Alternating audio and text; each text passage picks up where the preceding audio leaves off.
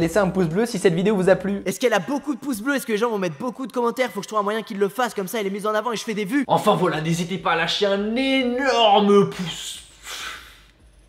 Fais comme tu le sens.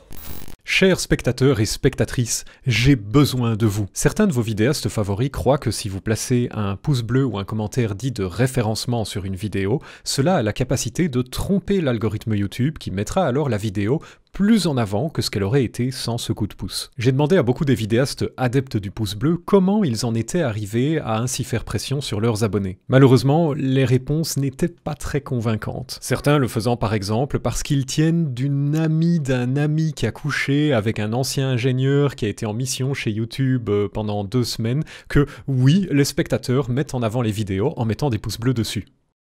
Si on veut vraiment savoir, il s'agirait d'accéder aux fiches techniques de l'algorithme YouTube. Inutile de vous dire que ces fiches techniques sont bien gardées et pas accessibles au commun des mortels. La bonne nouvelle, c'est qu'on peut quand même en avoir le cœur net sans ces fiches et en restant chez soi. Pour ça, il suffit de s'organiser. Si on se coordonne entre vidéastes et si vous, les spectateurs, jouez également le jeu, il devrait être possible de tester ce fichu algorithme d'une façon qu'il n'a peut-être encore jamais vue.